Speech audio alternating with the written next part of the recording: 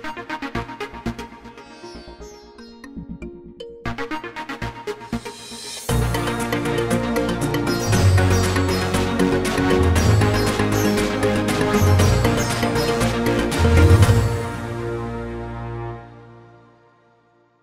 Bonsoir à tous, ravi de vous retrouver pour un nouveau numéro de Made in Africa, votre magazine économique 100% africain. Ce numéro sera consacré à un marché de niche, mais un marché en pleine éclosion sur le continent, le business des crèches, ces établissements prêts à accueillir vos enfants de moins de 3 ans avant leur entrée à l'école primaire. Le marché des crèches représentait 270 milliards de dollars en 2020 et devrait atteindre 415 milliards de dollars en 2025. La crèche, un service loin d'être réservé à tous les enfants du monde. Plus de 40% des enfants qui ne sont pas en âge d'aller à l'école primaire n'ont pas accès à des services de garde. Au sommaire ce soir, enquête sur le secteur des crèches en Côte d'Ivoire, un secteur encore marginal mais qui se développe à la vitesse grand V à Abidjan essentiellement. Vous allez le voir, des offres diverses, de la garderie à la crèche haut de gamme, de l'enseignement bilingue à la méthode Montessori. Un business qui peut s'avérer très rentable. Puis nous prendrons la direction de Dakar pour partir à la rencontre de Sini Samba, cette entrepreneur fait aussi le pari de la petite enfance. Elle s'est lancée avec succès dans le marché de la nutrition infantile avec de petits pots à la papaye ou encore des biscuits au mil 100% made in Sénégal. Face à elle, de grandes multinationales, mais pas de quoi freiner son ambition. C'est une question à laquelle font face tous les parents qui travaillent et qui ont des enfants. Que faire des enfants qui ne sont pas encore en âge d'aller à l'école? En Côte d'Ivoire, la plupart des familles font appel à des nounous. Certains parents, quant à eux, décident d'envoyer leurs enfants dans des crèches, des établissements qui préparent les enfants de moins de 3 ans à l'entrée à l'école primaire, avec parfois des professeurs spécialisés et des activités étonnantes. Un secteur en plein boom dans la capitale économique du pays. Crèche le baby boom, un reportage de Susanna Blondin, Gisela Mendonça et Romane Émilie Kofi. Riviera Golf, quartier huppé d'Abidjan. Au rez-de-chaussée de cet immeuble, des locataires, pas comme les autres. Depuis un an, cette crèche-garderie accueille du lundi au vendredi des enfants âgés de 3 mois à 3 ans.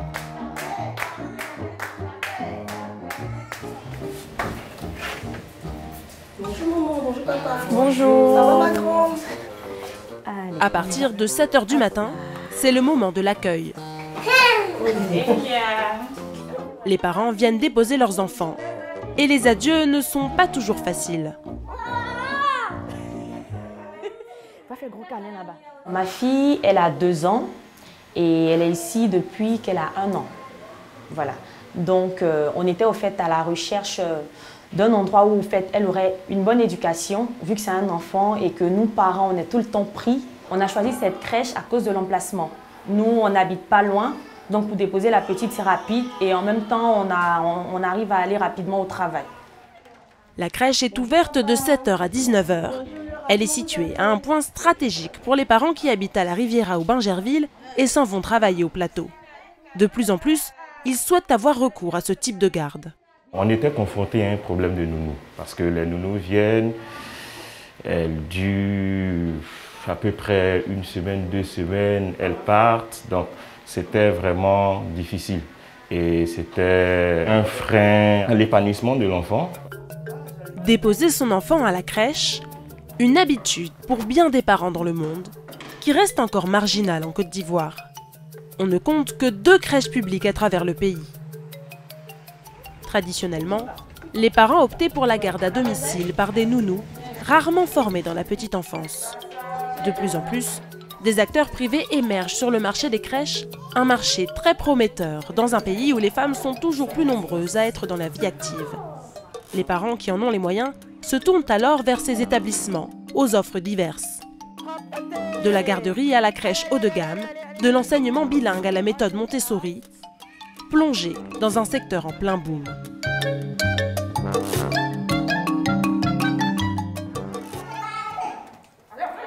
Bonjour les tatas. Bonjour madame. Ça va les enfants? Alors, Blondine, ce matin, c'est quoi le programme de nos enfants? Léandrine Lecadou a ouvert le club des biberons il y a un an. Ici, elle accueille une quinzaine d'enfants par jour, encadrés par cinq assistantes maternelles. Et le planning est millimétré. Nous accueillons l'enfant le matin et euh, nous mettons en place déjà euh, une activité où l'enfant joue avec ses amis, on, observe. À 10h30, on vérifie tout ce qui est couche de l'enfant, on vérifie les couches et tout ça. Ils prennent en quart, c'est-à-dire on peut prendre un jus d'orange, un petit fromage. Entre midi et 13h, ils prennent le repas. De 13h à 15h, ils font la sieste. Et à 15h, on reprend les activités. Certains enfants viennent occasionnellement, tandis que d'autres sont là tous les jours. Au Club des Biberons, les formules vont de 5 000 francs la demi-journée à 100 000 francs le mois. C'est un peu à la carte ici. L'enfant, il vient quand il en a envie. Nous, en tant que crèche, on ouvre de 7h à 19h. Nous sommes à la disposition des parents. Même si l'enfant arrive à 10h, il prend en cours les activités que nous faisons en fait. Une flexibilité qui attire de nombreux parents, comme ce jeune père venu aujourd'hui visiter les lieux. Nous avons deux chambres pour les plus grands, de 1 à 3 ans. Vous voyez que les lits sont adaptés à l'enfant. Il permet de descendre s'il se réveille. Et puis, euh, nous avons une caméra qui les surveille 24 sur 24, 7 sur 7. C'est rassurant. Papa, là, c'est la salle de jeu de nos enfants. On a un coin motricité avec une petite cuisine qui permet aux enfants de monter, descendre et tout ça. Donc là, ce matin, c'est le jeu libre. Ils sont là, ils jouent, on les laisse jouer. Une salle truffée de jouets en tout genre pour le plus grand bonheur des enfants. Mais tout ce matériel a un coût. Pour ouvrir sa crèche, Léandrine a dû débourser 5 millions de francs en équipement. Nous avons euh, l'air de jeu de nos enfants. Nous avons une petite piscine gonflable où l'enfant peut patauger les vendredis après-midi. Par rapport à tous les arguments que nous ont donnés euh, la directrice de la crèche, euh, moi j'avoue que je suis plutôt rassuré parce qu'il y a un vrai accompagnement. les, locaux sont, propres. apparemment, enfin, d'après ce qu'elle m'a dit, le personnel est, formé également. Donc, donc on, va, on va faire un essai. Monsieur, ne vous inquiétez pas, votre enfant sera dans de bonnes mains il y a le personnel qu'il faut. Peut-être une nouvelle inscription en vue pour le club des biberons. Depuis son ouverture en janvier, l'effectif de la crèche n'a fait qu'augmenter.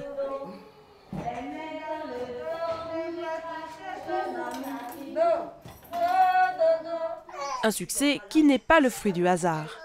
Après une expérience de plusieurs années dans la petite enfance à Paris, Léandrine Lecadou a décidé de se lancer dans l'aventure à Abidjan. On va faire un point un petit peu, c'est la rentrée. Sa crèche, elle la gère comme une vraie entreprise et n'hésite pas à dépenser beaucoup d'argent dans la communication. Une crèche, c'est un business. C'est un business. C'est tout à fait normal quand vous montez une entreprise de prévoir un coût pour la communication, pour vous faire connaître.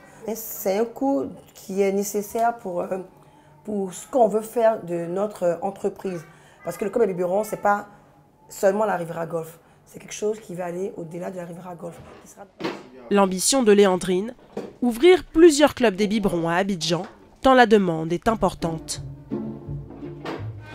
Comme elle, elles sont nombreuses à avoir misé sur le marché de la petite enfance. Dans certains quartiers, on compte pas moins d'une dizaine de crèches qui ont ouvert ces trois dernières années, parfois à quelques centaines de mètres seulement les unes des autres, avec bien souvent un positionnement haut de gamme. Dans cette salle de classe, des enfants âgés de 2 à 4 ans chantent en anglais. Des enfants ivoiriens, mais aussi des enfants d'expatriés.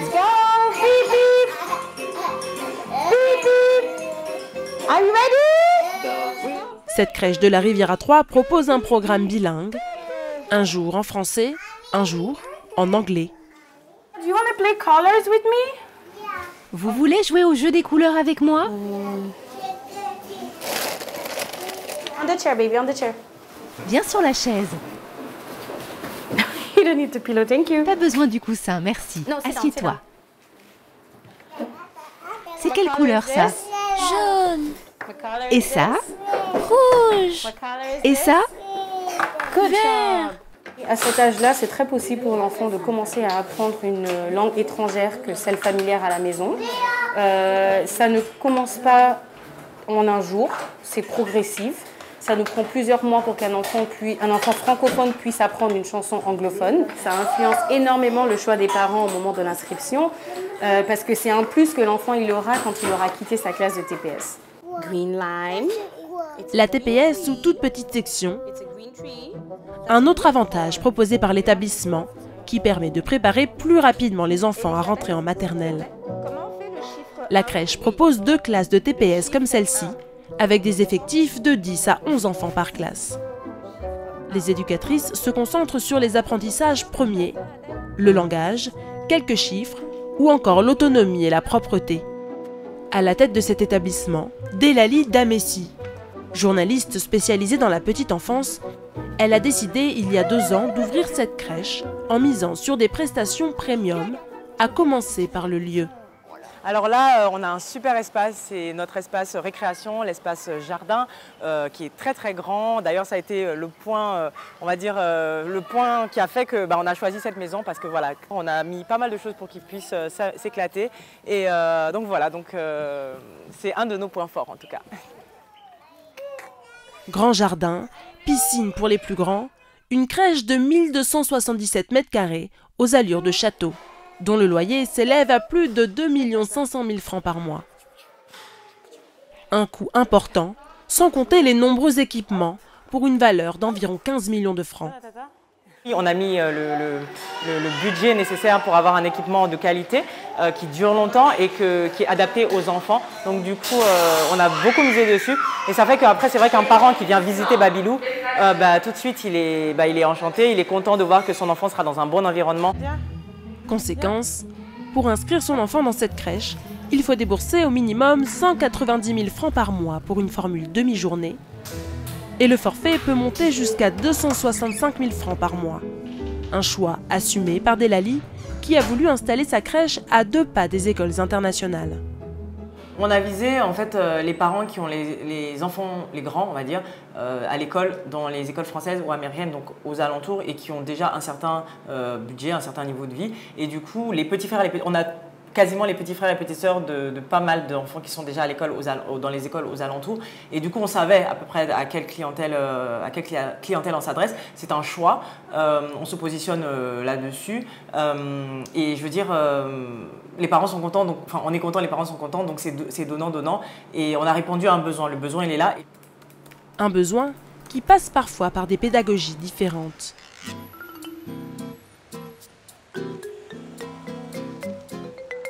À quelques encablures de là, dans cette école, on applique la méthode Montessori, une méthode pédagogique venue d'Italie qui a fait des émules dans le monde entier elle fait la part belle à l'autonomie de l'enfant. Ici, l'enfant est roi. Il peut évoluer à son rythme et choisit lui-même ses activités. Les éducatrices déambulent entre les élèves pour un accompagnement le plus personnalisé possible. Ils sont âgés de 3 à 6 ans, un écart important mais recommandé par cette méthode. C'est très important que les enfants soient mélangés car les petits apprennent des grands. Nous avons des progressions à suivre comme dans le classique, hein. on a des, objectifs à atteindre et euh, on les suit individuellement, donc ils ont chacun leur dossier euh, de suivi. Sandrine Abondieu dirige cet établissement. Formée à la méthode Montessori en Suisse, elle a ouvert l'envol il y a deux ans. Son objectif Transmettre son savoir en Côte d'Ivoire, où la méthode est encore peu connue. Régulièrement, elle organise des sessions de formation avec son personnel éducatif sur des outils bien particuliers, comme la table de Seguin. Un outil made in Montessori qui permet d'apprendre à compter et à lire les nombres. Dans cette mise en situation, une maîtresse joue le rôle de l'enfant. 10 et 2 10 11 12 12 12 en Montessori, tout est fait par expérimentation parce que le cerveau de l'enfant n'est pas encore euh, dans l'abstraction. Donc nous avons vraiment besoin que ce soit concret. Le matériel prend une, place très importante dans la méthode Montessori. Quand on a fait la présentation euh, de la table de Seguin, on a vraiment utilisé du matériel précis, concret, euh, donc les perles qui permettent à l'enfant de compter les unités et les nombres et l'association avec les chiffres. Pour cette table de Seguin, comptez 35 000 francs CFA, un matériel coûteux que Sandrine importe des Pays-Bas. Car la pédagogie Montessori requiert un matériel précis. La couleur et la taille des objets ne sont pas laissés au hasard et certains matériaux nobles, comme le bois, sont privilégiés. Si le matériel est essentiel, l'éducateur l'est tout autant. Plus qu'un maître, il est vu comme un coach qui doit aider l'enfant à développer son plein potentiel sans lui imposer de rentrer dans un moule. Une pédagogie différente qui tranche en Côte d'Ivoire, dans un pays où les méthodes éducatives alternatives sont peu connues. Le principal challenge pour, euh, pour ouvrir cette école, c'était euh, vraiment donner une autre vision de l'éducation euh, ici, en Côte d'Ivoire, à Abidjan, aux, aux, parents déjà. Également de trouver du personnel qualifié dans cette pédagogie. Donc j'ai dû prospecter ailleurs, notamment en France et dans d'autres pays. Et j'ai eu également euh, beaucoup de chance d'avoir des mamans qui étaient formées et qui recherchaient des, écoles Montessori à Abidjan, qui sont venues me voir pour inscrire leurs enfants et en même temps qui m'ont donné, leur CD. Et euh, ça s'est fait un petit peu comme ça. Pour placer son enfant dans cette crèche, il faut débourser pas moins de 2 400 000 francs par an, soit plus de 200 000 francs par mois. Un prix que sont prêts à payer des parents désireux d'offrir une pédagogie différente à leurs enfants. Lorsque j'ai su qu'à Abidjan, il y a une école, l'envoi de Montessori, qui fait cette euh, pédagogie, tout de suite, j'ai décidé d'inscrire mon enfant. Le plus important pour moi, c'est l'éducation de mon enfant. J'offre à ma fille ce que moi, je n'ai pas pu avoir. Je voulais un système Montessori. Elle est là depuis deux ans. Euh, elle a trois ans maintenant. Elle pleure jamais, c'est une petite fille qui pleure jamais parce qu'on lui impose pas forcément les choses, elle comprend d'elle-même. Aujourd'hui, comme l'envol, il existe cinq autres établissements à Abidjan offrant la pédagogie Montessori. Problème, ils ne vont que jusqu'en classe de CM2. Au collège, l'enfant devra donc revenir dans le système classique. Retour avec Léandrine, notre entrepreneur du Club des Biberons. Cet après-midi, elle a rendez-vous à Bangerville pour visiter un nouveau local. Sa crèche de la Riviera Golf affiche déjà complet. On n'a plus de place, euh, on ne s'attendait même pas à ça. Les parents qui sont dans le secteur de Bangerville, de Faya, ont fait beaucoup beaucoup de demandes. Donc du coup on décide d'ouvrir une deuxième crèche. Donc là du coup on va aller visiter le, le local. Bonjour c'est David, vous allez bien? C'est pour la visite du local, la deuxième crèche. Je vous suis. Si Léandrine a choisi Bingerville, ce n'est pas par hasard. Les jeunes cadres ou familles sont de plus en plus nombreux à s'installer ici, en périphérie d'Abidjan. Dans cette villa, le club des biberons pourra accueillir 35 enfants pour un loyer de 500 000 francs par mois. La demande est énorme. Les crèches aujourd'hui en, en, Afrique, je veux dire en Afrique, est un secteur d'avenir. Parce que déjà, il y a beaucoup de personnes qui rentrent de France, d'Europe, il y a beaucoup d'expatriés. Et même les parents qui sont ici, les, choses se développent, les choses évoluent. Maman travaille, papa travaille, mémé est occupé. Je, pense que l'idéal, c'est de mettre son enfant à la crèche pour son bien-être et pour, et pour lui-même sa sécurité et pour son bon développement. Super. Si tout se déroule comme prévu, Léandrine Lecadou espère ouvrir sa nouvelle crèche courant 2022. Et pour débattre ce soir, j'ai le plaisir d'accueillir euh, Delali Damessi, directrice du Centre de la Petite Enfance Babilou, Pascal Lépris, psychologue, fondatrice de la maison Zoé, spécialisée dans la relation parent-enfant, et Elvire Gouzouo, gestionnaire de la maison Chali Babies. Bonsoir. Bonsoir. Et, bienvenue dans Made in Africa ce soir. Question pour vous, est-ce qu'on peut parler, euh, Delali, du boom des crèches en Côte d'Ivoire? Totalement. Euh, on l'a vu dans le reportage, il y a des crèches qui poussent euh, tous les jours euh, à Abidjan et c'est dû au fait qu'il y a une, forte demande. Et... Et ça, date de quand, ce, phénomène? Un peu avant le Covid, déjà, ça a commencé. Ça a commencé. Et ah, j'ai l'impression qu'après le Covid, quand on a pu recommencer voilà, à envoyer ses enfants quelque part, il y a eu un, boom de ces crèches-là. Elvire, vous êtes d'accord avec cette analyse? Totalement d'accord. on voit des crèches qui se créent tous les jours en tout cas, il y en a pas mal qui se créent. La demande est encore euh, importante, donc on n'arrive pas à couvrir euh, concrètement les besoins. Euh, donc oui, il y a un boom, on peut dire qu'il y a un boom. Oui, la, demande est importante, Pascal, les prix. Qu'est-ce qui a justifié justement ce passage à cette nouvelle habitude selon vous? Je pense que c'est le fait déjà que les parents, la plupart du temps, papa et maman, ont un travail à l'extérieur. Les nounous sont pratiquement pas formés pour garder les enfants, pour en prendre soin surtout, pour les éveiller. Et donc, du coup, les crèches sont une belle alternative. Alors, idéalement, à quel âge c'est idéal pour la maman de se séparer de son enfant parce qu'elle va travailler et de remettre cet enfant à la disposition d'une crèche? Ça, c'est une belle question. Logiquement, logiquement, idéalement, le petit enfant est censé rester auprès de sa maman jusqu'à un an, logiquement. Parce que il faut changer la loi. Hein. Parce que c'est sa, sa principale figure d'attachement.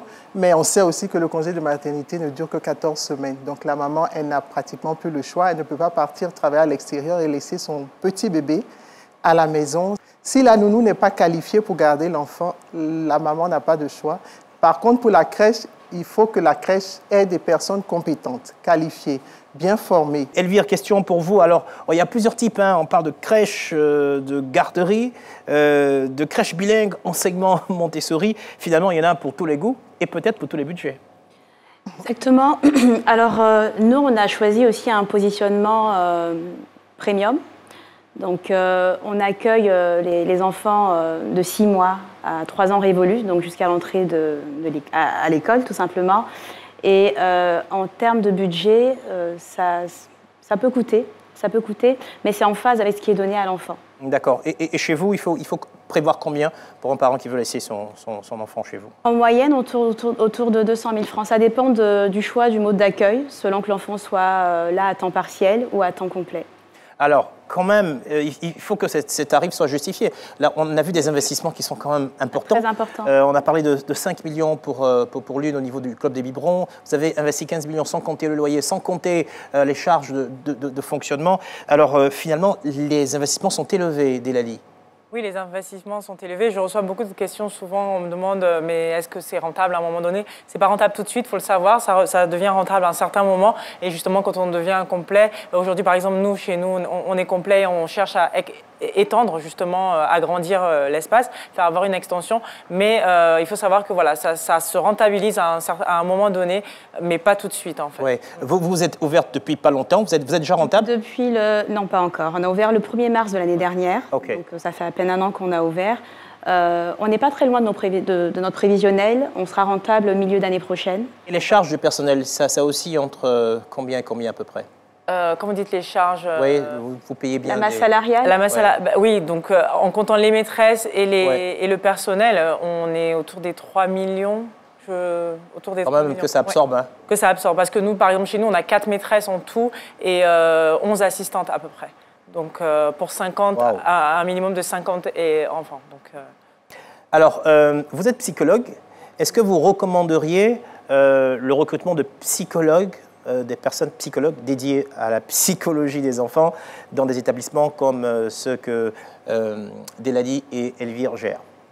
Oui, tout à fait, parce que le petit enfant a besoin d'être pris en charge à tous les niveaux et son développement est très important. La crèche, ce n'est pas juste pour garder l'enfant, vous l'avez vu dans le reportage, il y a des activités adaptées à l'âge. Il est important aussi qu'il y ait un psychologue pour moi parce que son regard pourrait euh, voir, détecter certains dysfonctionnements au niveau de l'enfant, par exemple un trouble du langage ou un retard de l'apprentissage, ou bien une hyperactivité, ou bien des signes de troubles autistiques. Alors, en matière de formation sur le plan local, on a vu quelqu'un qui, euh, euh, avec la méthode Montessori, justement, qui avait du mal à trouver du personnel sur place. Est-ce que, euh, en dehors de la méthode Montessori, on arrive à avoir des formations en Côte d'Ivoire qui forment des personnes qualifiées? Ah, Alors, il y a, a l'INFES qui est là, qui, est, euh, qui, est, supposé former euh, donc, des assistantes à la petite enfance. Euh, Mais c'est, je veux dire, c'est compliqué de trouver du, compliqué. Du, personnel vraiment formé, vraiment aux, techniques, aux méthodes de la petite enfance, à l'éveil. Franchement, il faut vraiment chercher, comme elle dit, il faut chasser, il faut débaucher, il faut trouver, il faut se renseigner. Mais, ou alors, nous-mêmes, il faut former. On est en en, permanence, en tout cas, voilà, en permanence en train de former, reformer les équipes. et même quand ces personnes sont formées, il faut quand même qu'elles aient une expérience pour, pour, les plus vite. Alors, l'accompagnement de l'enfant de plus de 3 ans qui est déjà scolarisé est complètement différent de, celui qu'on peut apporter à un, tout petit enfant. Euh, chez nous, la base, c'est l'observation. Donc, plus on observe l'enfant, on comprendra son rythme et on adoptera euh, l'accompagnement à son rythme d'évolution. Euh, mais ce n'est pas forcément euh, quelque chose qui est, qui, est, qui est, compris, parce que l'enseignant a tendance à, à, poser son cadre et ne tient pas forcément compte de l'évolution de l'enfant. Donc ce côté adaptation-là, pour nous, il est primordial. On a vu euh, des méthodes qui sont des méthodes alternatives. Est-ce que c'est important, selon vous, d'avoir accès, d'avoir recours à ce genre de, de, de méthodes, comme la méthode Montessori, justement? Oui, c'est important. La méthode Montessori est reconnue pour euh, stimuler l'enfant, pour lui apprendre à être autonome. C'est une méthode parmi plusieurs, mais elle est vraiment efficace pour stimuler l'enfant, pour euh, pour l'aider à être autonome dans ses interactions avec les autres. Et cette méthode est très respectueuse du mhm. développement de l'enfant. Elvire est en train d'acquiescer. Elle a recours à la méthode Montessori. Alors, je m'inspire de la pédagogie Montessori, attention, parce qu'il y a beaucoup d'établissements qui se disent euh, Montessori, mais ils ne sont pas Montessori. Donc, je m'inspire de la pédagogie Montessori. Euh, et, aussi d'une hongroise, une pédiatre hongroise, Amy Pickler, qui a beaucoup travaillé, qui a fait ses études sur les enfants euh, de 0 à 3 ans. Mhm. Euh, Montessori a beaucoup plus axé ses études sur les enfants à partir de 3 ans et, 6 ans, mais Amy Pickler s'est beaucoup axée sur le comportement de l'enfant entre 0 et 3 ans. Et les valeurs se rejoignent, hein. donc c'est autonomie, liberté, respect de l'enfant, bienveillance avant tout. Question, j'ai une maison, j'ai assez de place chez moi, je veux ouvrir ma crèche est-ce qu'il y a des règles à respecter, des réglementations, des choses comme ça, euh, Délali ah, mais Bien sûr, déjà, vous devez avoir un agrément pour ouvrir euh, ce genre d'établissement. Et, donc, du coup, oui, il y a un agrément, il y a des dossiers à, remettre. Nous, je sais qu'on a eu des audits de sécurité pour voir, vous savez, au niveau des prises, pour voir, euh, pour les enfants on ne va pas aller mettre le. Donc, il y a vraiment toutes des normes de sécurité à, à suivre. Après, c'est vrai que peut-être tout n'est pas réglementé. On, est, voilà, on reste quand même en Afrique, mais tout n'est pas réglementé. Je sais que beaucoup ouvrent, mais voilà, il faut il faut respecter les règles. on essaye. Vous, avez soumis des CV aussi euh, dans votre dossier J'ai comment Des CV de votre personnel pour attester leur qualité. Est-ce que ça fait Alors, euh, de, la direction, oui. Euh, ensuite, moi, spontanément, j'ai donné le, CV des, du personnel. Voilà. un dernier mot, justement, Madame la psychologue, Madame Lépris, sur la question, justement, de qu'est-ce qui, dans la tête des parents, les dispose à justement mettre leurs enfants à la disposition des, crèches et justement à payer autant pour pouvoir avoir le meilleur traitement, la meilleure formation pour leurs enfants. Euh, les parents, chaque parent aime son enfant, il veut le meilleur pour lui. Alors s'il faut qu'il l'inscrive dans une crèche, il va forcément rechercher la meilleure là où son enfant sera en sécurité. Mais je voudrais dire aux parents aussi de, faire, veiller à ce que l'enfant soit pris, les besoins de l'enfant soient respectés, c'est-à-dire être en contact avec la crèche. Il ne s'agit pas de poser l'enfant et de s'en débarrasser. En même temps, aux crèches, il serait bon de faire des journées portes ouvertes, des journées où les enfants sont en contact avec leurs parents, parce que n'oublions pas, ce sont de tout petits enfants qui sont en pleine croissance, en plein développement, et il est important que les parents soient à leur contact. Merci beaucoup. On vient de le voir avec vous. Le business la petite enfance semble porteur à Abidjan à travers les crèches. Mais quand on parle de petite enfance, on parle aussi de nutrition infantile, un très gros business. L'entrepreneur que nous allons vous présenter a lancé à Dakar le Lionceau, première entreprise sénégalaise spécialisée dans la nutrition infantile à base d'aliments 100% locaux. Ces petits pots, vous allez le voir, n'ont rien à envier à ceux des géants du secteur. Sini Samba, le baby food made in Sénégal, c'est un reportage de Susanna Blandin, Gisèle Mendonça et Niki Kwame. Centre-ville de Dakar, au Sénégal. Bonjour Reja. Bonjour Très bien et toi Cette femme rend visite à la propriétaire de cette épicerie, spécialisée dans les produits locaux. Là, c'est les petits pots qui marchent très bien parce que c'est la première chose que les gens prennent pour découvrir. Euh, là, c'est la courge niébé. Ces petits pots, elle ne va pas les acheter. C'est elle qui les produit. À 29 ans, Sini Samba est à la tête du Lionceau, première entreprise sénégalaise spécialisée dans la nutrition infantile à base d'aliments 100% locaux. Depuis trois ans, ces pots sont de plus en plus présents sur les étals des commerces dakarois. Nous sommes les premiers à proposer toute une gamme de purées de fruits, de purées de légumes et de céréales. Et du coup, les points, de vente, les différents supermarchés sont très friands de ce genre de produits. C'est des produits qui marchent, c'est des produits que les gens aiment et c'est des produits que nous faisons découvrir à nos clients et toujours nous avons des retours qui sont très positifs. Des petits pots dont les prix varient de 600 à 1250 francs et qui sont vendus dans une vingtaine de magasins, allant de grands hypermarchés à de petites épiceries comme celle-ci. Quand on compare avec euh, les produits importés de la même, euh, de la même gamme, c'est vachement moins cher. Donc les parents, ils n'hésitent pas à mettre le prix parce qu'ils savent qu'ils vont retrouver de la qualité, une expertise locale, sans conservateur et 100% naturel. Une alimentation saine et locale pour les enfants, telle est la devise de Sini Samba. Cette ingénieure agroalimentaire, amoureuse des denrées de son pays, s'est lancée il y a trois ans un pari fou se faire une place dans le secteur de la nutrition infantile. Avec une croissance démographique de 4,5% par an, le continent africain pourrait bien devenir le nouvel Eldorado du baby-food. Un marché porteur, encore dominé par les grandes multinationales.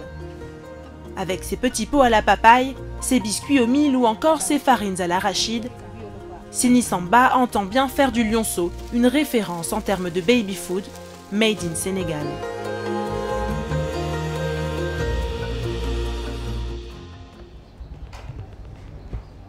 C'est ici, dans cette maison nichée dans le quartier de Yoff, à Dakar, que les petits pots pour bébés prennent vie.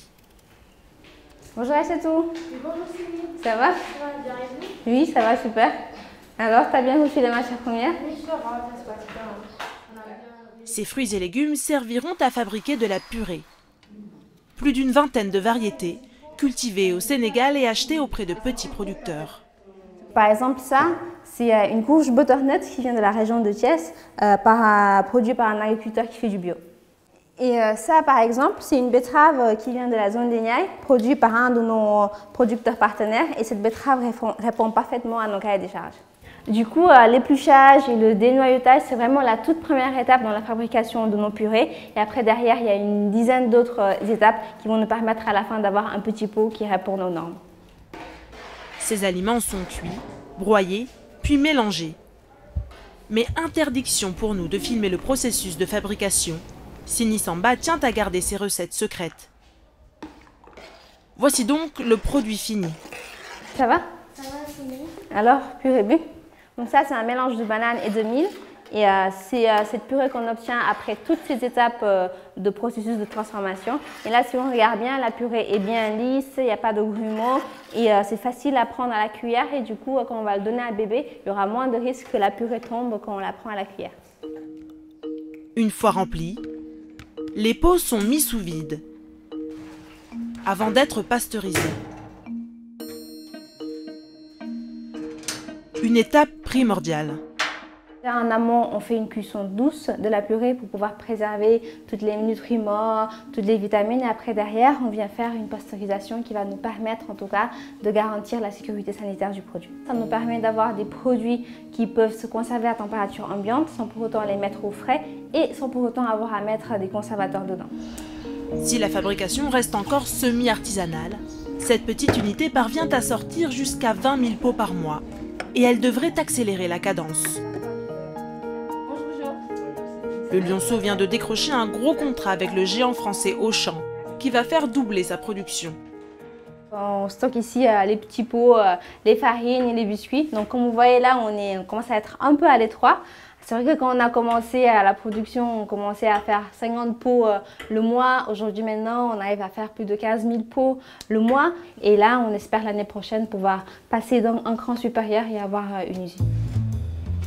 En attendant, les équipes du Lionceau continuent de perfectionner leurs recettes. Régulièrement, Signy et ses équipes organisent des séances de dégustation. Et ce, même si les consommateurs finaux auront quelques années de moins. Euh, la texture euh, est très bien, elle est bien épaisse. C'est facile à prendre du coup à la cuillère, donc euh, c'est génial. Et la couleur elle est parfaite, donc c'est la courge niébé. Mmh, on sent bien le niébé texture, goût, apport nutritionnel, mmh. tout est passé au crible.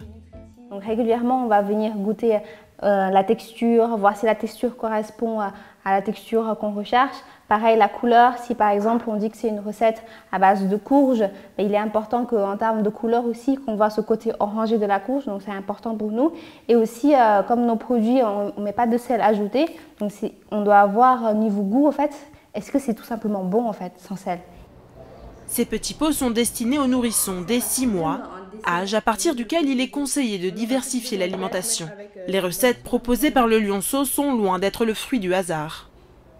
Ici, dans l'équipe, on a pas mal d'ingénieurs en agroalimentaire et également des nutritionnistes. Donc, on s'assure en amont de voir quelle matière première est-ce qu'on va sélectionner, quelles sont ses propriétés nutritives et avec quoi est-ce qu'on peut mélanger cette matière première pour avoir à la fin un produit qui soit à la, fois bon gustativement, mais aussi bon sur le plan nutritionnel. Et ça, c'est un, un de nos challenges en termes de formulation. Le niébé a été choisi car il est riche en fer et en protéines. La courge butternut apporte quant à elle de la vitamine A. Des recettes pensées avec ingéniosité, car pas question d'ajouter du sucre ou du sel pour rehausser le goût des purées. Un choix fait par le lionceau qui s'ajoute aux nombreuses restrictions encadrant le secteur du baby-food. Pour confectionner ces petits pots, Sini s'est basé sur les normes européennes qui interdisent l'ajout d'hormones, de conservateurs, de colorants, d'édulcorants et d'arômes artificiels. La concentration en nitrates, pesticides ou métaux lourds des ingrédients utilisés est jusqu'à 500 fois plus faible que les taux autorisés pour le reste du secteur alimentaire. Une à deux fois par an, des échantillons sont envoyés dans un laboratoire national pour des analyses microbiologiques. On se fixe vraiment à des normes très strictes en termes de processus de transformation, de formulation. Comme ça, déjà, on pourra commercialiser davantage ici sur le terroir du Sénégal et aussi euh, pouvoir exporter nos produits euh, à l'international. Ces normes, Sini Samba les connaît bien car en plus d'être une jeune maman, elle baigne dans le secteur de la nutrition infantile depuis plusieurs années déjà, bien avant la création du lionceau. Née et élevée à Dakar, c'est en France qu'elle décide de poursuivre ses études dans l'agroalimentaire avant d'intégrer un géant du secteur, Blédina, du groupe Danone. J'ai commencé ma carrière euh, chez le leader en France de la nutrition infantile en tant qu'ingénieur en agroalimentaire J'étais en charge au fait de m'assurer que les produits respectent les normes avant d'être mis sur le marché. Et du coup, euh, de là, j'étais devenue passionnée par euh, tout ce qui est euh, la nutrition infantile. Je me voyais vraiment faire carrière au début dans les grandes multinationales agroalimentaires.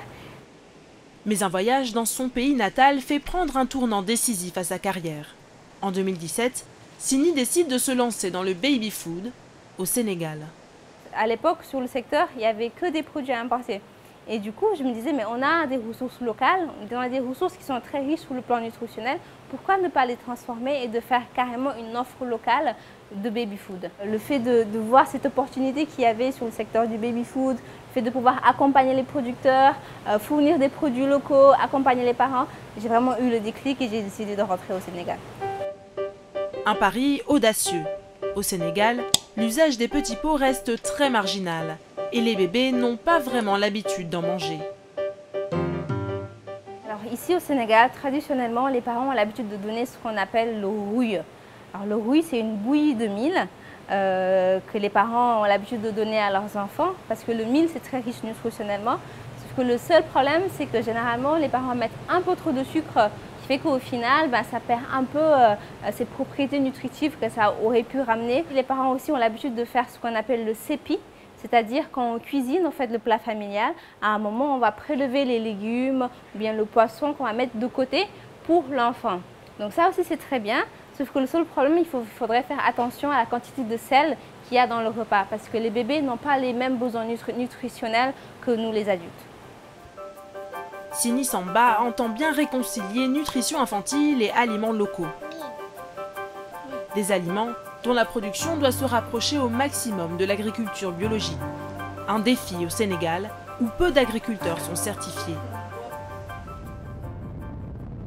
Pour trouver des aliments qui correspondent au cahier des charges du lionceau, l'entrepreneur n'hésite pas à sillonner le pays.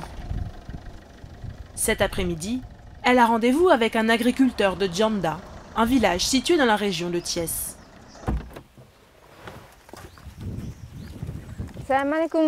tonton ça va noo def yaa ngi si jàmm ça va naka activité bi? Ça va bien. Depuis plusieurs années, la mine Sam cultive sans aucun produit chimique. Sur ses parcelles, il produit toutes sortes de fruits et légumes, mil, pastèques, arachides et une légumineuse qui intéresse tout particulièrement Sini. Ah, lignée bébé là Ça nous intéresse beaucoup parce que c'est un produit qui est très riche en fer, très riche en protéines également. Donc on peut facilement euh, le mélanger, l'intégrer dans nos purées. Pour l'instant, on se fournit du niébé dans le salou, donc c'est à l'intérieur du pays. Mais euh, ça nous intéresse d'autant plus de travailler avec ce producteur qui euh, veut se faire certifier biologique.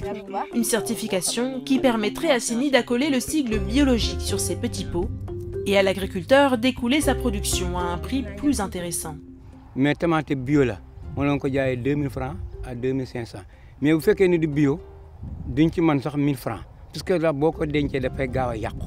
Sur cette parcelle, on va prendre des échantillons et on va l'analyser euh, en interne, voir si ça correspond vraiment à nos cahiers des charges pour les matières premières. Et si c'est le cas, on va vraiment démarrer cette collaboration avec euh, Tonton Lamine. Et le niébé n'est pas la seule plante qui pourrait intéresser Sini. ah am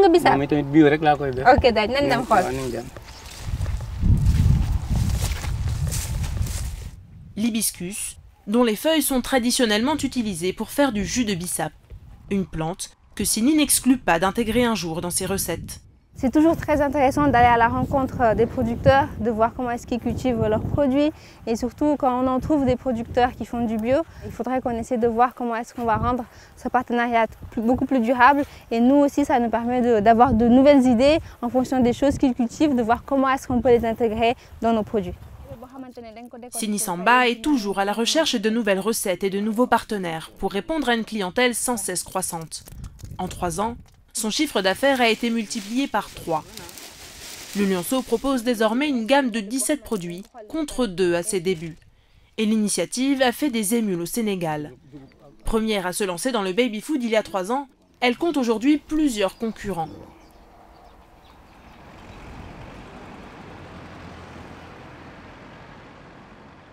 Pour s'assurer de rester leader dans le baby-food local, l'avis des clients est primordial. Bonjour. Bonjour. Bonjour, madame. Vous allez bien? Bien, merci. Aujourd'hui je viens exceptionnellement vous livrer. Ah oui, mes pots Oui. Ah, c'est gentil. Voici votre paquet. Merci. Wow. Cette jeune maman a commandé de la poudre infantile et des petits pots pour sa fille. C'est une cliente fidèle du Lionceau. Ça, elle adore. Ah Le oui banane mil, oui. Elle adore trop. Là, je mixe euh, avec du lait. Ok. Et ça lui fait un petit mélange de lait plus euh, des, Banane. du- des fruits. Ok, Voilà. Et super. ça lui fait un 2 en 1. Au lieu de lui faire un bubi de lait et après lui donner ça, je lui mets tout dedans. Ma fille, en fait, quand j'ai commencé les autres petits pots, elle n'arrivait pas à aimer. J'avais un problème, un réel problème. Et on cherchait avec le pédiatre comment faire pour que ma fille aime. En fait, c'est pas qu'il fallait forcer ma fille à aimer les légumes, mais il fallait qu'elle l'intègre dans son alimentation. Des légumes dont la provenance a été décisive dans l'acte d'achat. Pour cette maman, acheter des petits pots importés relevait de l'absurde. Et il faut prendre les légumes et les fruits de notre pays plutôt que de prendre ailleurs. Pourquoi? Parce que l'enfant est né ici, les légumes sont ici, tout est ici, c'est pas les mêmes. Et en plus, c'est complet. Il y a le mil qui est avec, il y a fogno, euh, la gamme euh, fognotte, carotte et fogno, c'est tout. C'est typiquement sénégalais, c'est typiquement local. Donc, Du coup j'en profite d'ailleurs. Est-ce que vous avez des pots consignés oui, j'en ai des tonnes. hein. Ah. ai- Attendez, je vais vous emmener le sachet. Super. Depuis quelques mois, le Lionceau propose de reprendre les pots usagés contre une réduction de 100 à 150 francs par pot rendu. Une initiative qui s'inscrit dans les valeurs de l'entreprise, consommer local et responsable.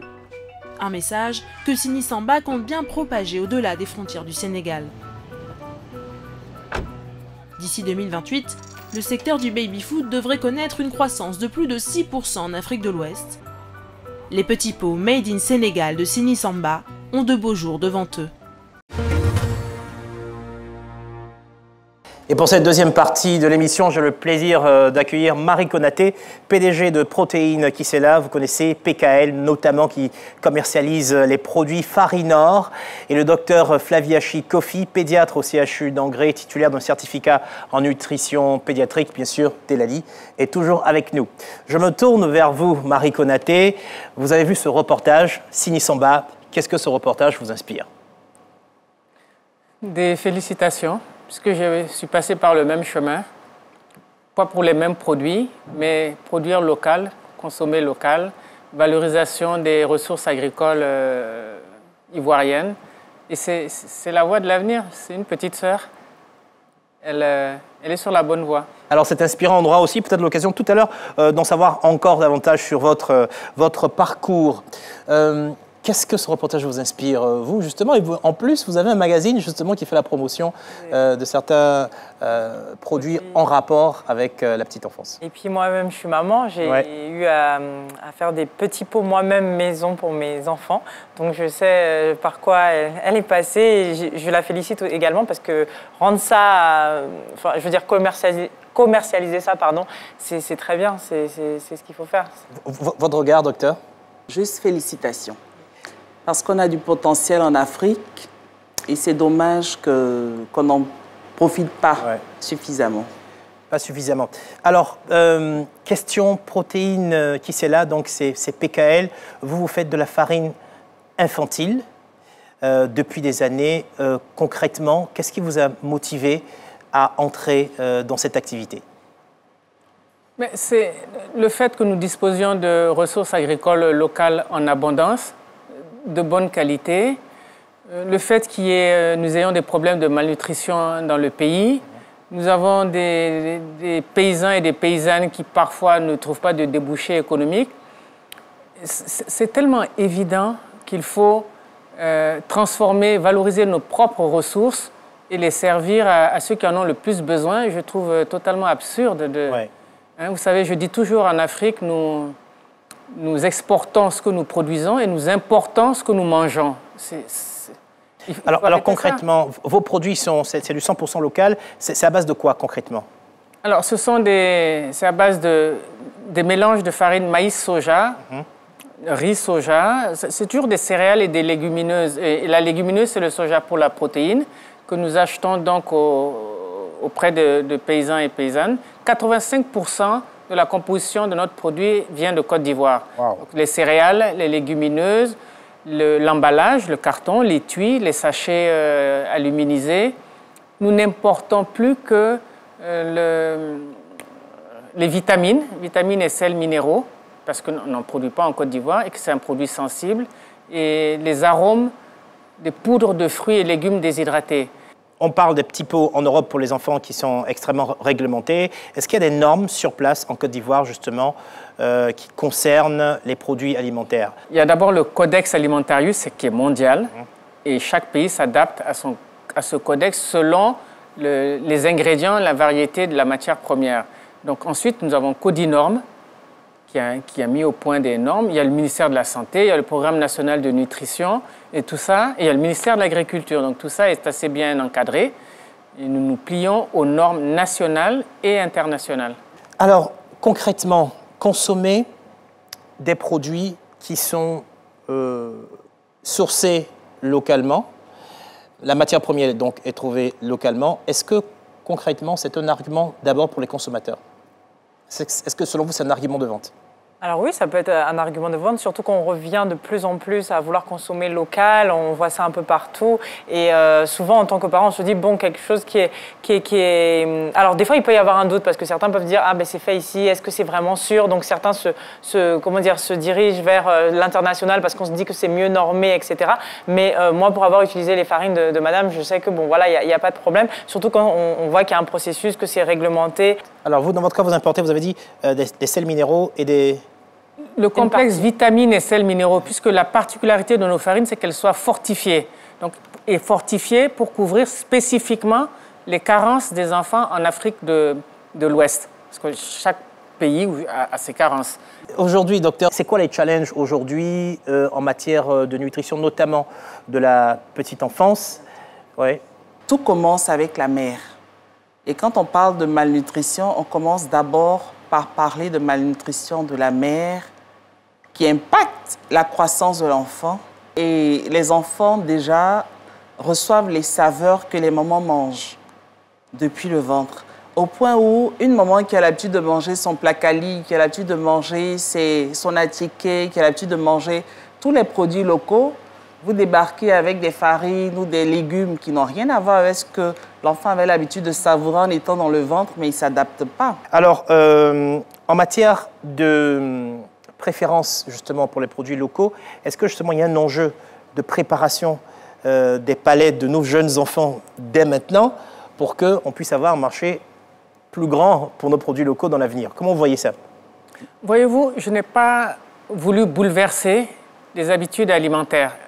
Quand on veut pénétrer un marché comme celui-ci et qu'il y a des grosses multinationales en face, il vaut mieux, l'avantage que nous avons, c'est de pouvoir, de connaître notre population, de savoir ce qu'elle a l'habitude de consommer, de savoir comment elle le consomme et de s'y adapter. Donc quand je fais une bouillie de maïs, je ne fais que rajouter du soja pour l'enrichir, pour, pour, pour l'apport protéique, mais la bouillie de maïs, tout le monde connaît le kabato. Oui, euh, docteur, euh, un, un, petit regard justement sur la diversité des produits. On a vu tout à l'heure avec Sini Samba, elle a divers produits. Est-ce que c'est important de... Comment ça s'organise? Est-ce que c'est important de varier? D'abord, euh, il y a plusieurs aspects. Il y a les aspects pardon, qualitatifs et les aspects quantitatifs. Et les aspects qualitatifs, le nouveau-né est au sein, normalement, de 0 à 6 mois de façon exclusive, dans le meilleur des cas. Et comme je dis souvent au moment, à l'impossible, nul n'est tenu. Quand il n'y a pas de lait maternel, on peut prendre des laits de substitution. Et c'est là que rentrent en jeu les laits artificiels. Et à partir de six mois, on commence avec les farines sans gluten. On introduit ensuite les fruits. Les protéines viennent en dernier. Les légumes également. Et selon l'âge, on termine avec le blanc d'œuf à partir de un an où l'enfant commence à manger tout ce qu'un adulte peut manger, mais toujours avec sa ration de lait qui lui apporte du calcium. Et dans les farines également, il y a du fer, parce que l'anémie est une des pathologies courantes chez l'enfant. Vous, dans votre cas, aujourd'hui, euh, est-ce que vous avez commencé à vraiment très toute petite échelle, concrètement? J'ai commencé tout petit, sur 30 mètres carrés, en plein milieu du marché d'Adjamé, avec 400 000 francs CFA. Waouh wow. Bon, euh, mais comment est-ce que... Il faut quoi C'est quoi le, le, secret fondamental pour passer de la petite échelle où vous étiez à être à même de talonner des multinationales comme c'est le cas aujourd'hui? Je rappelle que vous êtes quand même deuxième sur le marché après Danone. Après Nestlé, troisième. Bon. Soyons justes. Bon. Non, mais écoutez, vous, vous croyez en votre projet, vous commencez par euh, une petite quantité, mais vous voyez qu'il y a, par exemple, moi je distribue aujourd'hui 2 millions de repas, euh, 2 millions de repas par an. Avant la pandémie, c'était 4 millions. Pour une population, les 6-24 mois, de 2 400 000 enfants de 6 à 24 mois. Wow. Mais vous voyez le marché. Vous, vous, rêvez, vous voyez. Après, vous dites, mais après, c'est le Burkina, après, c'est le Mali, après. Et justement, vous exportez déjà? On a exporté. Ouais. Après, vu les difficultés, on a dû arrêter. On a eu quand même quelques péripéties en Côte d'Ivoire. Mais vous voyez le marché, vous voyez le potentiel. Pourquoi s'arrêter? Pourquoi ne pas rêver toujours plus grand? Alors, dites-moi, aujourd'hui, c'est quoi votre chiffre d'affaires? Alors aujourd'hui, c'est euh, aujourd'hui ça va pas trop. C'est euh, on va, c'est pas encore certifié. Euh, 1 milliard 8. Avant la crise? Wow. On avait des meilleurs résultats deux que fois, ça avant la deux crise. fois plus. Deux fois plus. Et, et, justement, et votre personnel? 100 personnes. 100 personnes. Ça, Alors, ça fluctue, hein. 100, Ouais. 150, ça dépend de l'activité. Mais je précise, hein, je fais des farines infantiles, des farines pour adultes, pour les personnes âgées, euh, des semoules de maïs. on a vu que ce marché représentait euh, 6%, justement, sur le continent af- africain, 6% de, de croissance. Est-ce que justement ça représente une, une perspective euh, d'avenir pour, euh, pour les opérateurs qui, qui sont sur ce marché Je, je conteste ce chiffre. Le marché est plus important. Il, serait- il est d'autant plus important aujourd'hui. Voyez-vous, quand j'ai créé l'entreprise, j'avais une certaine vision et je me trouve aujourd'hui très, très visionnaire. Voilà qu'il y a une guerre qui se déclenche en Europe. Il y aura une flambée extraordinaire des matières premières, toutes les céréales et légumineuses. Mais si nous n'avions pas nos produits locaux, comment ferait-on aujourd'hui? Et donc ce n'est pas 6%, je pense que c'est beaucoup, beaucoup plus que ça. Est-ce que vous avez vu les- le, le regard de Delali? Elle a envie, elle a hésité pendant longtemps à se lancer sur le marché, mais c'est porteur. Quand on hésite, c'est mauvais signe. Ça veut dire qu'elle va y aller. Oui, je on va l'encourage. En, en tout cas, je vous dis merci. Merci pour tout, Marie Konaté. Ça fait toujours plaisir euh, de vous avoir. Et puis, la, la ferveur que vous dégagez, ça nous donne envie de nous dépasser. Merci infiniment. remercie. Merci, docteur, d'avoir été là. Merci, Delali, d'avoir pris de votre temps. Je sais que vous êtes occupé par ailleurs sur euh, diverses autres choses. Merci à vous aussi, euh, chers téléspectateurs, d'avoir suivi ce numéro de Made Africa. Je vous donne rendez-vous dans 15 jours pour un nouveau numéro. Vous pouvez retrouver cette émission sur notre site internet, c'est www.rti.ci ou sur l'application RTI Mobile. Vous pouvez aussi suivre nos activités sur les réseaux sociaux Made Africa pour Facebook et Made Africa TV pour Instagram et Twitter. Merci à tous ceux qui m'ont aidé à préparer cette émission, aux équipes de production d'Éléphant Africa, mais également aux équipes de RTI pour la réalisation. Je vous souhaite une excellente suite de programme sur RTI 1.